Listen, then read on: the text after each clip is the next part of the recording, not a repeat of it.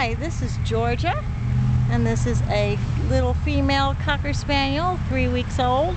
She's one of Goldie's pups, and she is so sweet. Such a good girl. A little sleepy. Some a little sleepy. But I am a pure-blooded Cocker Spaniel. I'm a pretty, pretty girl. I may weigh two pounds. Maybe. I'm a sweet White with- girl. She is mostly white, has uh, Goldie's ears, little brown ears, and a few spots on her back end. She is going to be one beautiful cocker. Look at that face. See, that's a face to love. That's a Aw, okay, bye, Georgia. Bye, Georgia.